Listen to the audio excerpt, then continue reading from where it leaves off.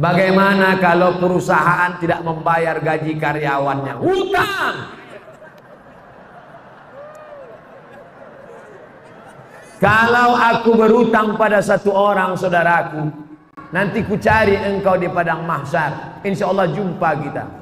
Tapi kalau yang aku berutang kepada karyawan seribu orang, wahai perusahaan-perusahaan kau bayarlah sekarang. Daripada kau cari mereka di akhirat nanti. Sedangkan di Sumatera aja payah mencarinya, apalagi di padang mahsyar. Hai pimpinan perusahaan-perusahaan. Hai manajer-manajer. Hai GM-GM. Yang usah tunjuk ini siapa? Kamera. Mana tahu kebetulan dia nonton streaming. Bayar hutang, bayar. Al-wa'du dain. Janji adalah hutang dan hutang akan diminta pertanggungjawaban di hadapan Allah. Sekecil apa hutangmu? Famai ya'mal mizqala dzarratin khairan. Yara hutang sebesar biji sawi akan dituntut di hadapan Allah Subhanahu wa taala. Bapak Ibu calon jamaah haji sebelum berangkat bayar hutang-hutang. Bapak nangis kenapa? Hutang saya banyak Pak Ustaz. Tapi Bapak kaya. Masa nggak sanggup bayar hutang? Bukan nggak sanggup bayar Orangnya nggak tahu di mana Pak Ustaz Utang apa? Dulu waktu sekolah makan bakwan tiga bayar satu.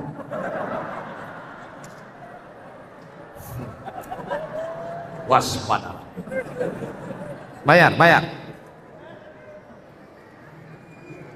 Saya mengamalkan surat Al-Kahfi setiap malam Jumat. Bagaimana hukumnya? Man qara'a surat Al-Kahfi laumal Jum'ah. Siapa yang baca surat Al-Kahfi malam Jumat pagi Jumat, sore Jumat, siang Jumat, dari mulai habis maghrib, sore Kamis, malam Jumat, sampai habis asar, sampai menjelang maghrib hari Jumat. Baca surat Al-Kahfi. Allahu min nur. Dia dapat cahaya. Dengan cahaya itu dia bisa membedakan mana hak, mana mana hoax. Mana hak, mana hoax, mana hoax, mana hak. Kita malam ini bisa membedakan mana orang, mana tiang, mana tiang, mana orang gara-gara apa? Gara-gara cahaya, bukan gara-gara mata. Coba matikan lampu semua, buka mata lebar-lebar. Bisa melihat? Kita bisa melihat bukan karena mata, tapi karena cahaya. Makanya ada orang buta tapi hafal Quran. Kenapa? Matanya tertutup tapi hatinya terang. Nur Nur cahaya. Alhamdulillah Pak Ustaz, saya sudah dapat. Bapak dapat? Iya, kenapa? Nama bini saya Nur Cahaya. Maka siapa yang mendapatkan nur? Orang yang membaca surat Al-Kahfi hari Jumat, malam Jumat. Yang sudah mengamalkan, terus hadisnya sahih. Baik, yang belum mengamalkan, segera amalkan. Mudah-mudahan umurnya sampai hari Jumat. Saya mengamalkan bacaan Ya Razak urzuqnil baqi ba'dal fana di setiap habis sunat fajar. Bagaimana hukumnya Pak Ustaz? Ya Razak, wahai engkau yang memberikan rezeki, urzuqnil baqa ba'dal fana. Berikan aku kekekalan setelah binasa. Setelah tanganku binasa dimakan cacing tanah, setelah mataku binasa dimakan ulat, berikan aku kekal abadi setelah Apakah doa ini salah? Tidak salah. Silakan amalkan. Ya Razak, wahai engkau yang memberi rezeki, wahai engkau yang memberi rezeki, urzuqnil baqa ba'dal fana. Berikanlah aku kekal setelah binasa. Binasa dunia, tapi aku tidak binasa. Selama doa itu tidak salah menurut akidah, maka tidak salah diamalkan. Tapi kalau diajarkan doa, wahai penjaga laut, penjaga sungai, penjaga pohon kayu, datanglah, datang. Itu doa manggil hantu. Nanti pas setelah itu hantunya datang, what can I do for you? Sukron kasiran Ustaz, afwan. Kalau ada orang menyebut syukran, terima kasih, jawabannya afwan. Menurut Ustaz jamaah tabligh itu baik apa tak baik? Entah. Ada orang kampung saya punya meja biliar biliar bola sodok Musik keras. Pergi saya ke Maroko ke Mesir kuliah. Pulang saya kuliah, saya sholat di masjid, saya jadi makmum. Imamnya enak sekali baca ayat. Bismillahirrahmanirrahim. Alhamdulillahi Rabbil Alamin.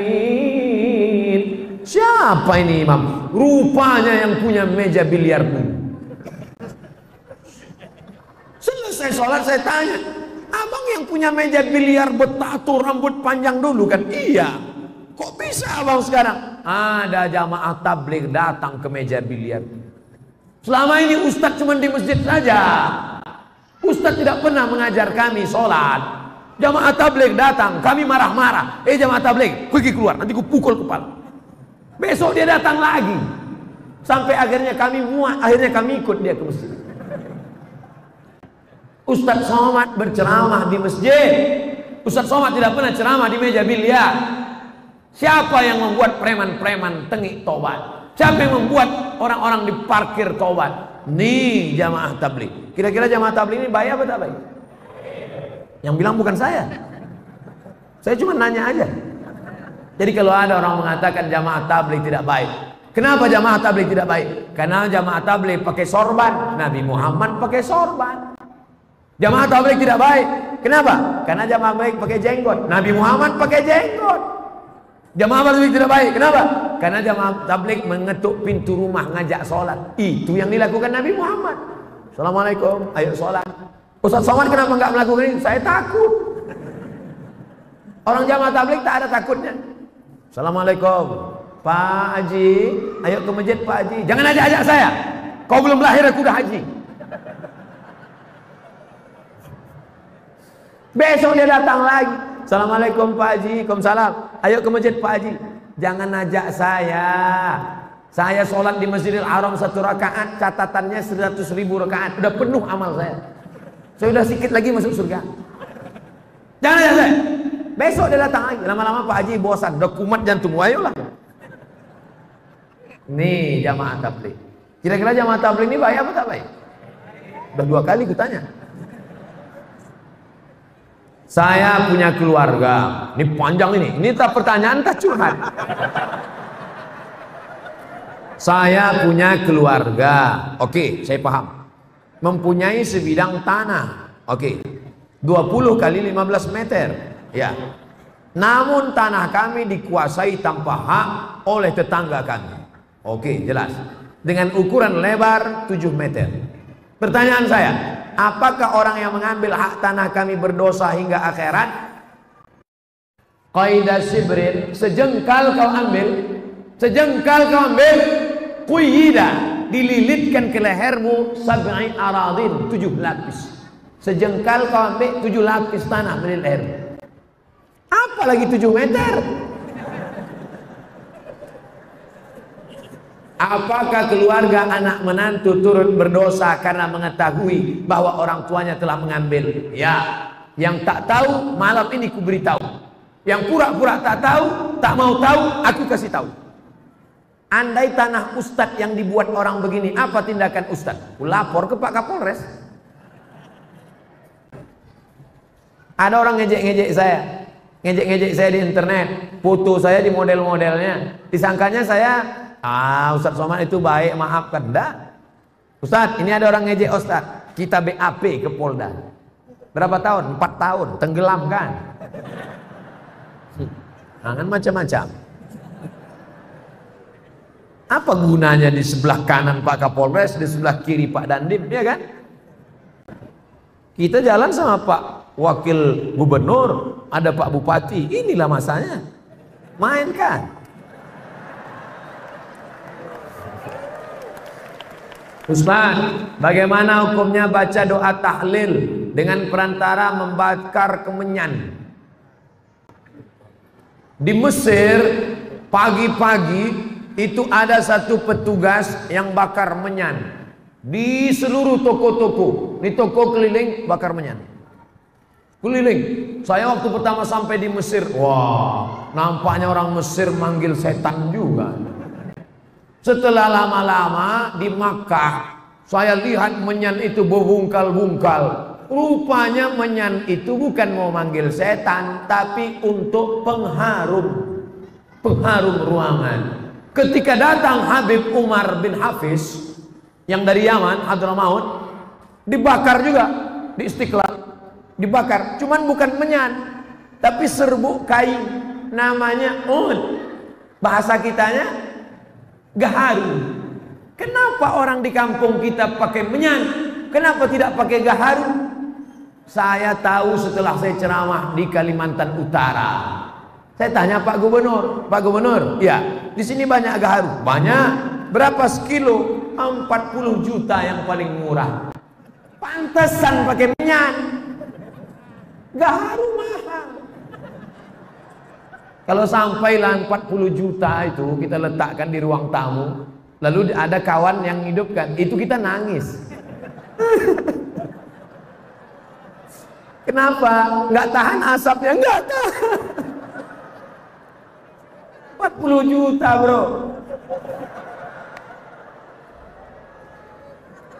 Jadi kalau di majelis Habib, majelis Maulid sebelum doa baca itu untuk mengharum ruangan. Karena dengan harumnya ruangan, malaikat-malaikat suka.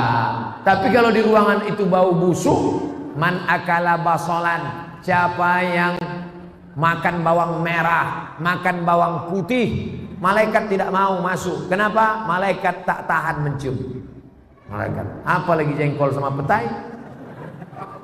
Tapi kalau gosok gigi dulu boleh. Jadi kalau ada orang membakar menyan, membakar gaharu, tujuannya untuk mengharumkan ruangan, tidak apa-apa. Tapi kalau dianggapnya asap inilah yang membawa ke alam, ke alam apa lah. Nah, ini tak betul, berarti keyakinannya tidak benar. Jadi kalau ada yang tidak orang bakar, tanya dulu. Ini bakar untuk apa? Untuk mengharum ruangan. Dengan harumnya ini, ah, kan harum gak perlu lagi. Masjid kita ada pakai pengharum ruangan. Sekarang ada orang pakai harum. Itu pakai bahan kimia. Ada bahan kimia kita hirup masuk ke dalam. Itulah yang menjadi cancer. Tulisannya C A N C E R, cancer. Orang kita payah bilang cancer. Kenapa? Kanker.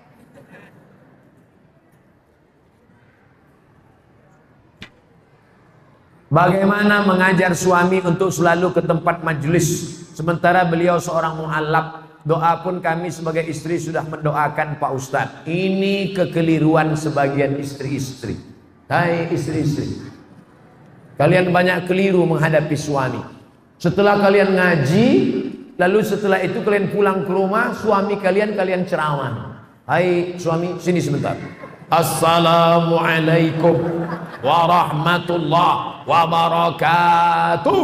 Hai suami. Kan begitu caranya. Bahannya dari mulut ibu tapi pakai lidah wali. Perempuan punya wali enam. Abang. Wali perempuan ada enam. Ayah, kakek, abang, adik, abang ayah, adik ayah. Enam wali kalian, Bu lapor ke wali nanti wali yang menasehati dia eh menantuku hei adik iparku sini sebentar begitu makanya laki-laki mesti ngerti nanti kalau abang ipar kalian menasehati itu bukan dia intervensi. Jangan kamu ngomong pak ini keluarga kami. Jangan intervensi kan nah, ini nggak ngerti keluarga. Ibu tetap berdoa, kami juga nanti di akhir majelis tetap mendoakan. Mudah-mudahan suami-suami ibu menjadi suami-suami yang baik-baik semua. Ahlan wa sahlan Ustadz di kota Pala Fakfak. Semoga Allah senantiasa memberikan kesehatan dan keselamatan. Amin. Bagaimana hukumnya orang tua menolak pinangan laki-laki disebabkan karena keturunannya. Padahal laki-laki tersebut baik agamanya.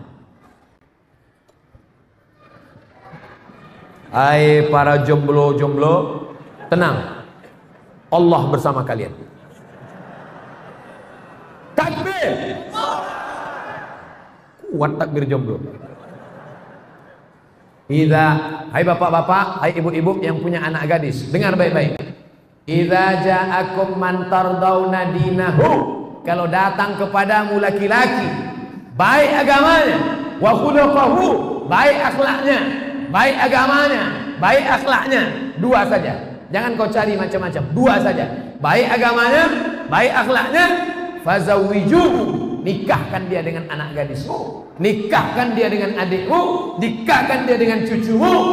Illa taf'alu. Kalau itu tidak kau lakukan, takun fitnatun fil ardi wa fasadun arid akan terjadi fitnah yang besar kalau mahar mahal maka zina murah maka kalau datang nanti anak lajang ini meminang anak gadismu meminang adikmu meminang cucumu baik agamanya baik akhlaknya nikahkan siap yang bilang siap itu yang punya anak gadis bukan yang mau minang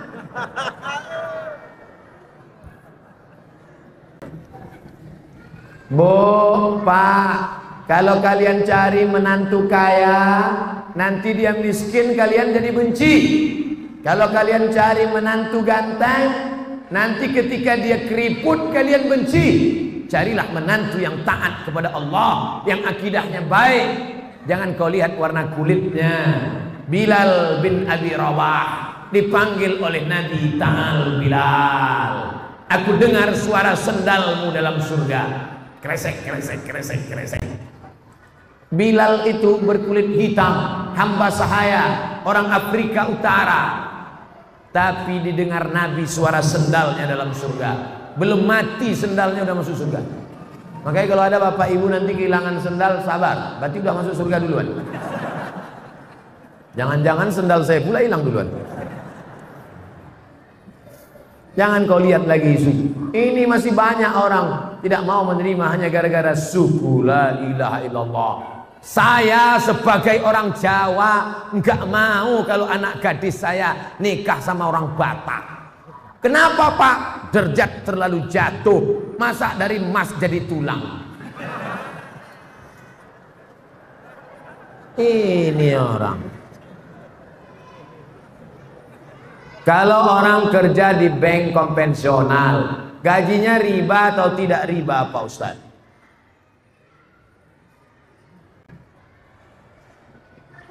La'anallahu akilar riba. Allah melaknat orang yang makan riba. Wa.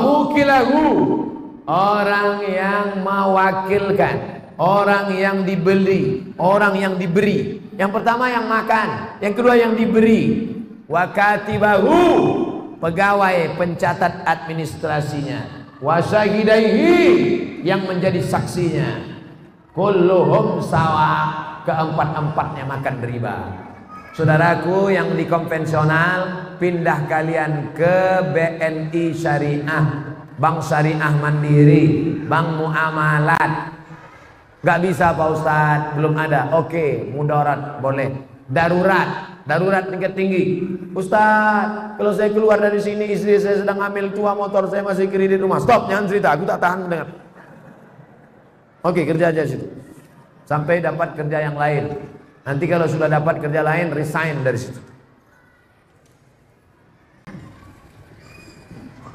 Ustaz, bagaimana batas-batas wanita berhias keluar rumah? Pakai make up, Banyak perempuan sekarang mukanya putih, tangannya hitam.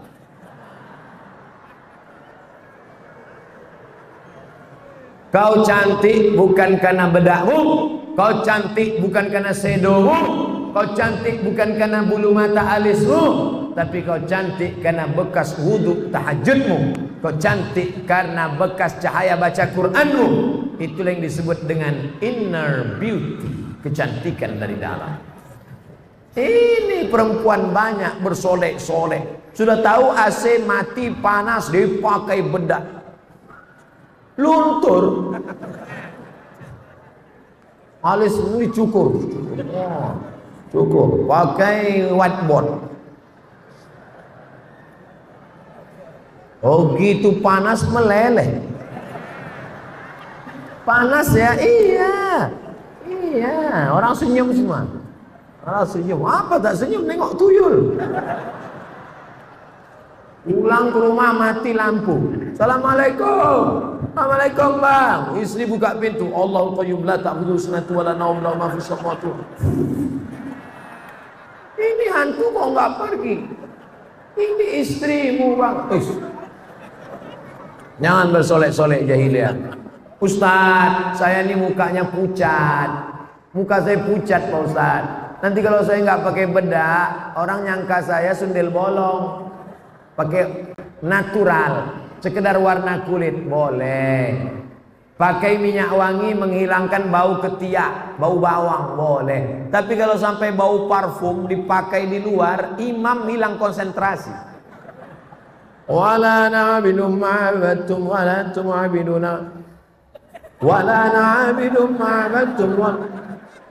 sampai hilang lakum dinukum waliyani. Yang biasa, sekedar menghilangkan bau ketiak, boleh. Itu namanya natural. Bagaimana konsep pendidikan anak dalam Islam? Sejak dalam kandungan hingga jadi anak soleh, hafiz Quran 30 juz. Ada orang mengatakan mendidik anak itu sejak SD. Sejak SD baru bisa dididik. Ada lagi yang mengatakan mendidik anak sejak pandai berjalan. Tapi yang paling tua pendapat mendidik anak adalah sejak mencarikan ibunya. Aminah ibunya, maka lahirlah anaknya Al Amin. Al Amin akan lahir dari Aminah. Tapi jangan gara-gara ini nanti bapak pulang ngomong sama istrinya, gara-gara kau tidak Aminah, maka anak kita tidak Al Amin. Yang kalian yang lajang-lajang yang belum menikah mudah-mudahan ditemukan dengan aminah aminah yang ngomong amin yang belum nikah. Ini anak udah dua amin. Gak tahu dia istrinya nengok dari atas. Awas. Bapak Ibu yang dimuliakan Allah cari istri solehah. Dia nanti akan mendidik anak-anak kita. Kita pergi pergi petang pergi pagi pulang petang peras banting tulang kita pergi pagi, anak belum bangun tidur. Kita pulang malam, anak sudah tidur. Kita jarang pulang. Nama Toib. Siapa yang mendidik anak-anak kita? Nih mereka-mereka. Didik istri soleha. Istri soleha saat mengandung anak dibacakannya Al-Quran. Bismillahirrahmanirrahim amma yatasaalun 'anil naba'il 'azim alladzi hum fihi mukhtalifun. Kalla sayalamun.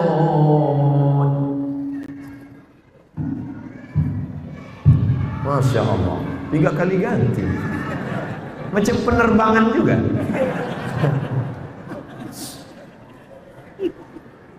Istrinya soleha. Istri soleha tadi waktu hamil banyak-banyak baca ayat. Saya yakin dan percaya ini dulu pasti ibunya waktu dalam kandungan banyak-banyak solawat. Pasti anak-anak ini yang datang mendengar pengajian ini pasti ibunya waktu hamil dulu baca ayat. Karena kalau dia tak baca ayat pasti anaknya lompat-lompat karena emaknya nyanyi kucing garong kiong racun. Bapak Ibu yang dimuliakan Allah. Setelah itu anak tadi disusukan. Sekarang banyak anak-anak meluk kaleng. Susu sama kaleng. Susukan sama ibunya. Setelah itu kemudian dimasukkan sekolah agama. Bawa pengajian. Kemarin saya pergi ke hotel. Kebetulan di hotel itu tinggal anak MTQ dari Kabupaten Bengkalis, Riau. Umur 8 tahun hafal Quran 30 juz. 8 tahun cari di internet. Namanya Anissa Zahra dari Riau. Saya tanya kakeknya kek ini gimana dia bisa hafal Quran umur 8 tahun? Sejak kecil di kamarnya non-stop 24 jam MP3 Al-Quran jadi Bapak Ibu nanti pulang dari sini lagu-lagu dangdut, cinta satu malam, kabi kaci kabigam, coach coach kotahe, campakkan ke laut. Eh jangan rusak laut. Nanti dimakan ikan hiu pula. Bakar. Alhamdulillah Pak Ustaz, semua CD-CD lagu dangdut udah saya sodakokan. Jangan mengalir dosanya. Balik dari sini lagu-lagu dangdut bakar, robah dengan MP3 Al-Qur'an. Bagaimana jika niat pakai cadar tapi dilarang orang tua karena takut lulus kuliah tak dapat kerja? Yang nyuruh pakai cadar itu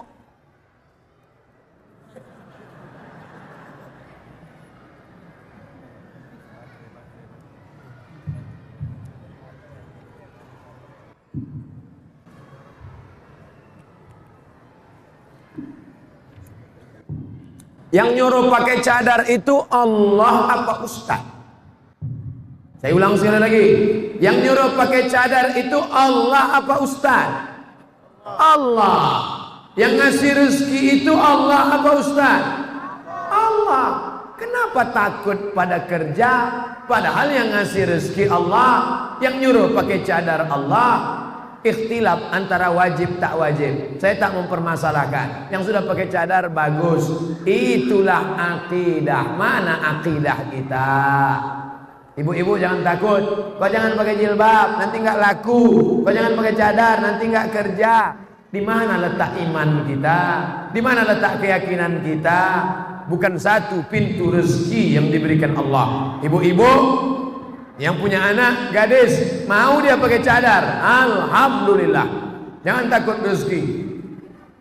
Ya Razzaq, wahai engkau maha pemberi rezeki. Wa ma min dabbatin fil ard. Tidak ada satu binatang yang melata di atas muka bumi melainkan Allah yang memberikan rezekinya. Cicak, cicak itu melata. Tak bisa dia ke darat, cicak di dinding-dinding. Tapi makanannya luar biasa. Cicak itu makanannya bukan tanggung-tanggung, helikopter dia makan. Allah menjamin rezeki. Kenapa takut? Bagaimana hukumnya kita mendoakan orang tua yang sudah meninggal dunia Tapi kita berbeda keyakinan Apakah adanya diijabah atau tidak Yang berbeda agama ada dua doa Doa ketika masih hidup Allahumma hdi qaumi fa innahum la ya'lamun. Berikan hidayah. Berikan hidayah kepada bapakku, berikan hidayah kepada ibuku, berikan hidayah kepada kakekku. Doa itu dia panjatkan Nabi untuk umatnya. Adapun yang sudah meninggal dunia, serahkan dia kepada Allah. Ayahku ini hambamu, Kakekku ini hambamu, ibuku ini hambamu, maka kuserahkan dia kepada engkau ya Allah. Itu doa Nabi Isa. In tu'adzibhum fa innahum ibaduk. Kalau kau azab, maka mereka itu hambamu ya Allah.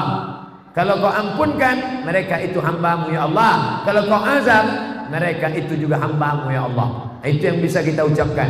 Nah, serahkan kepada Allah Subhanahu wa taala. Kata yang sering belajar Kita yang sering belajar dari ceramah tausiah di Youtube Disebut madrasah YouTubiah Apakah sering menonton dan mendalami ceramah? Akhi, sanat kita mengikat Mengikuti sanat Akhi. Mengikuti sanat Apakah kalau kita mengambil ilmu dari YouTube, dari Google itu bisa dianggap punya ilmu yang benar? Ya. Yang paling tinggi kualitasnya namanya sama. Sama itu artinya mendengar langsung. Saya mendengar hadis ini dari Syekh Mahmud Abu Hashim. Syekh Mahmud Hashim mendengar hadis ini dari Sayyid Muhammad. Sayyid Muhammad mendengar hadis dari Sayyid Alawi. Sayyid Alawi mendengar hadis dari Sayyid Abbas Al-Hasani Al-Maliki. Sampai sanatnya kepada sahabat Nabi namanya Abdullah bin Amr bin As. Abdullah bin Amr bin As dari Nabi Muhammad sallallahu alaihi wasallam. Itu namanya sama, namanya sama. Bagaimana kalau kami dari buku Pak Ustaz? Buka buku, ambil hadis, namanya wijadah. Wijadah namanya. Tetap diakui, cuman kualitasnya bawah. Begitu juga dengan mendengar tidak langsung dari tape recorder, dari MP3, maka itu bisa juga. Yang penting ustadznya ada. Ada ustadznya di alam nyata. Bapak Ibu yang selama ini mendengar saya di YouTube, kira-kira Ustadz Somad itu ada tak di alam nyata? Nah, inilah makanya malam ini dia datang mau nengok. Ada rupanya. Ah, Nah, jadi yang penting ustadznya ada. Bapak Ibu belajar dari Habib Rizik Syihab. Habib Rizik itu ada atau tak ada? Ada. Maka boleh belajar. Dari Ustadz Adi Hidayat. Ustadz Adi Hidayat ada. Yang tak boleh itu dari Ustadz Upin Ipin. Nah, itu tak ada. Selama orangnya ada, kajinya benar, akidahnya alusunnah wal jamaah, maka boleh, tak masalah. Ajastum jami amarwiyati wa muallafati wa muhadarati. Saya ijazahkan semua MP3, semua video YouTube, semua buku-buku, 37 masalah populer, 99 tanya jawab salat, 30 fatwa seputar Ramadan. Saya ijazahkan semua riwayat-riwayat ilmu yang saya sampaikan kepada ini, semua yang hadir di majlis Masjid Agung malam ini. Jawabnya qabil tuh, aku terima. Saya pernah melihat orang mau dikubur, sebelum ditutup kuburannya diazankan.